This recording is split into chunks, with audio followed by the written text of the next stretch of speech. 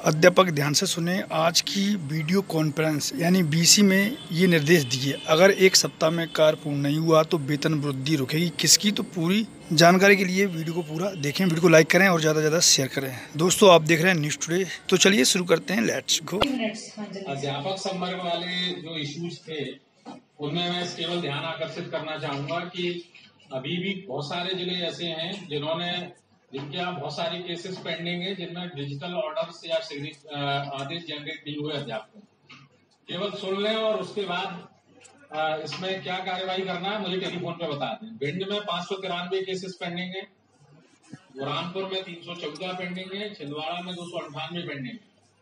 रीवा में पाँच सौ तिरानवे, सतना ग्यारह सौ सतहत्तर, टीकमगढ़ और सिंगरौली में वन नाइन्टी टू और वन सेवेंटी एट ये ऐसे केसेस हैं जिनके बारे में आपने आयदर और कुछ भी निर्णय नहीं लिया ये पात्र है, अपात्र है, करना है, नहीं करना है। तो इस पर निर्णय, ये ज़िले निर्णय करें। अगर आपको लगता है कि कोई कोर्ट केस है, कोई और कारण है तो आप एकल नस्ती पर यहाँ भेजें, उनको होल्ड पे डालना है तो यहाँ से अनुमोदन लें। ताकि जो केसेस में हम ऑर्डर जनरेट कर सकते हैं, उनको एक तरफ़ रखें, जिनको होल्ड में डालना उनको एक तरफ़ रखें।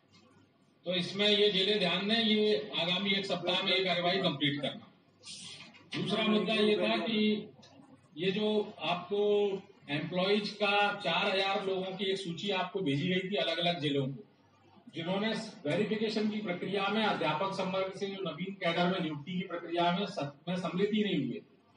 इनमें बहुत सारे केसेस में अपेक्षित है कि हो सकता है कि इनमें कुछ लोग एबसेंट हों बहुत लंबे समय से, या कुछ सेवा में ना हो, या किसी की डेथ भी हो गई होगी।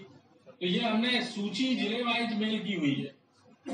नौ ज़िले ऐसे हैं जिन्होंने हंड्रेड परसेंट वेरिफिकेशन करके रिपोर्ट कर दिया। है लेकिन लगभग चौदह ज़िले ऐसे हैं जिन्होंने, बल्कि चौबीस ज़िले, जिन्होंने ज़ीरो परसेंट जिनका, जिन्होंने रिपोर्टिंग है। बुरहानपुर, छतरपुर, छिंदवाड़ा, दतिया, देवास, धार, गुना, हरदा, खंडवा, पन्ना, राजगढ़, रीवा, सागर, सतना, श्योपुर, शिवपुरी, सीधी, टीकमगढ़ और उमरिया।